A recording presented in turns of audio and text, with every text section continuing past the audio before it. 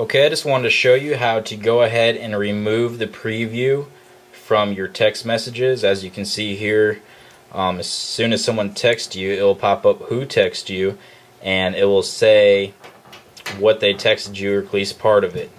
And I'm going to go close. I'm just texting myself, so I'm closing out real fast. But they can see, so if you're not around, other people can see what people are texting you. So I'll just send, I'm going to close it out real quick, and then you'll see it pop up, and there it is again.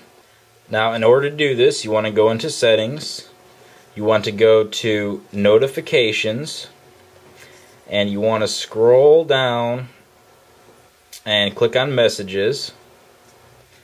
And then if you scroll down a little more, it'll say show preview. Turn that to off.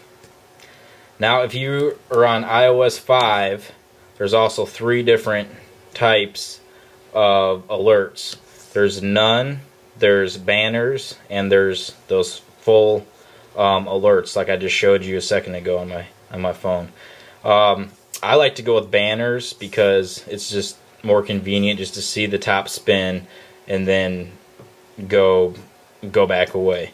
So now, I'll leave it on this so I can show you that it's not gonna it's not gonna show you a preview. So just send that, exit out real quick.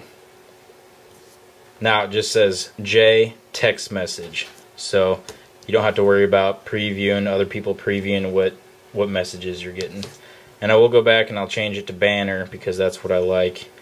And now when we text, let's type in a couple more things. Hit send and watch up here. It'll just flip around and say message from Jay.